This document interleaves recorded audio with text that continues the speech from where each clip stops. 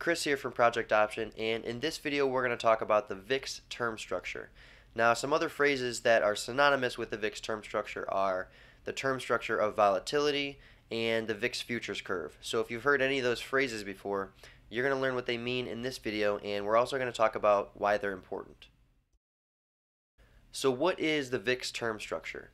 Well, the VIX term structure is the difference in prices between short-term and long-term VIX futures, or it's the difference in implied volatilities of near-term and longer-term expiration cycles.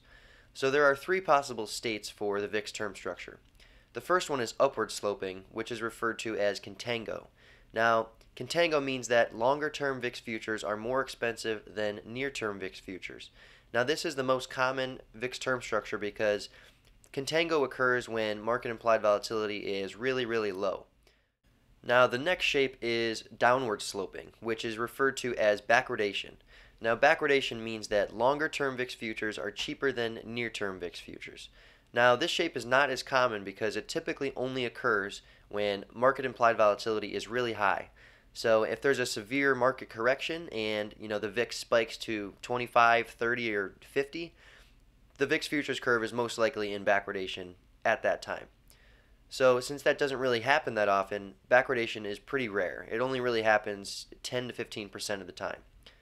Now the last shape is flat, which just means that longer term VIX futures are approximately the same price as near term VIX futures.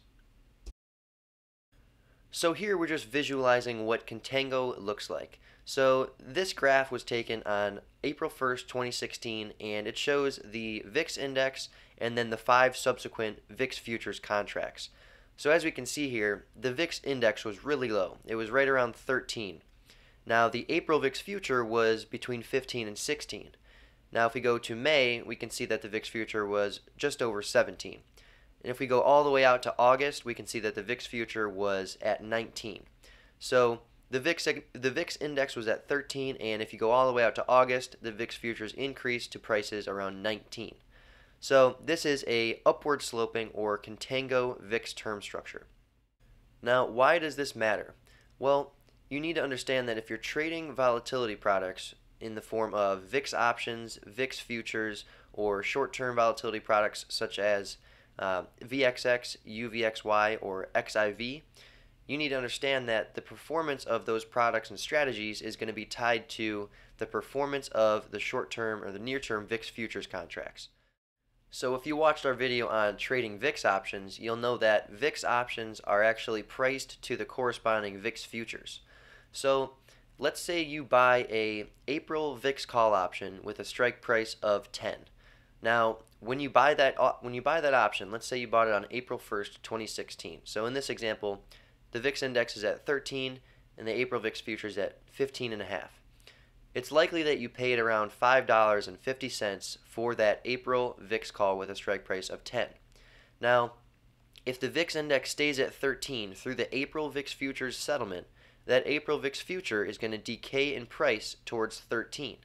Now, since that 10 call option expiring in April is tied to the performance of the April VIX future, if that April VIX future goes from 15.5 to 13, then it's likely that your your call option with a strike price of 10 expires to a value around three dollars.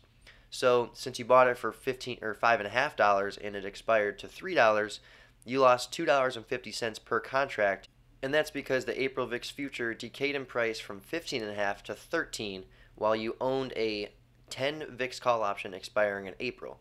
So when you bought the 10 call option, it had intrinsic value around five and a half dollars. And then when the April VIX future went from 15 and a half to 13, that 10 call option only had $3 of intrinsic value. So you lost $2.50 per contract because of the decay in VIX futures, which happens when the VIX term structure is in contango. So that's just one example. So to make a long story short, when the VIX term structure or VIX futures curve is in contango, bullish volatility strategies or products do not perform well if the VIX futures curve stays in contango. So on this slide, we're looking at the VIX futures curve when it's in backwardation. Now backwardation means the curve is downward sloping. So as we can see here, the VIX index is around 27.5, the February VIX futures around 24.75, the March VIX futures around 24, and if we go all the way out to June, the June VIX futures around 23.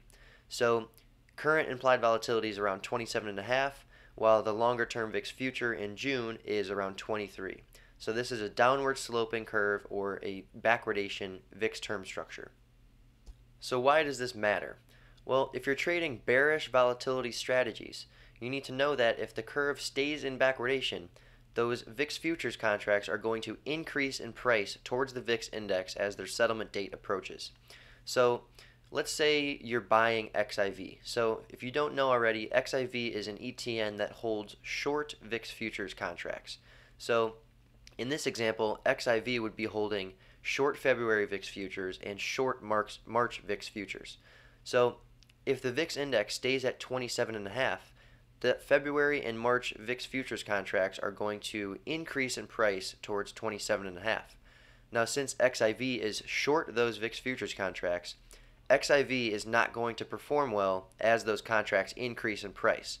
So just know that if volatility rises and you put on a bearish volatility trade, if the volatility remains high, your volatility trades are probably not going to perform well because most volatility products and strategies are tied to the performance of the near term VIX futures contracts. Now, since those VIX futures contracts will be increasing if the VIX index remains elevated, those bearish volatility strategies or products are not going to perform well. So in this last example, we're just looking at a VIX futures curve that is relatively flat. So as we can see here, the VIX index is at 20 and basically February through June, the VIX futures contracts are around 21. Now, while this is technically a contango curve since the VIX futures are higher than the VIX index, this is a relatively flat curve compared to what you would see otherwise. Alright, well that pretty much wraps up what you need to know about the VIX term structure. So let's go ahead and recap what you've learned in this video. So first, the VIX term structure, or the VIX futures curve, represents the difference between the prices of short-term and long-term VIX futures contracts. Now, when the VIX term structure is in contango, longer-term VIX futures contracts are more expensive than near-term VIX futures contracts. Now, when the curve is in contango, bullish volatility positions tend to lose money over time if the VIX does not increase, and that's because, as we talked about, bullish volatility trades are tied to the performance of near term VIX futures contracts. Now, when the curve is in contango, those VIX futures contracts are going to decay in price if the VIX does not increase, which leads to poor performance in bullish volatility trades. Now, when the VIX futures curve is in backwardation, near term VIX futures contracts are more expensive than longer term VIX futures contracts. So, when the VIX futures curve is in backwardation, Bearish volatility positions tend to lose money over time if the VIX does not decrease. Now that's because, as we talked about with Contango, the, the performance of volatility strategies and products is tied to the near-term VIX futures contracts. So if the curve is in backwardation, those near-term VIX futures contracts are going to increase in price towards the VIX index if volatility remains elevated. Now, since those VIX futures contracts are increasing, bearish positions that are tied to the performance of those contracts are going to not perform well. Well, thank you so much for watching, everybody. I hope you learned something about trading volatility and why the VIX futures curve matters. If you enjoyed this video, please go ahead and subscribe to our YouTube channel so that you get alerts when we come out with new videos.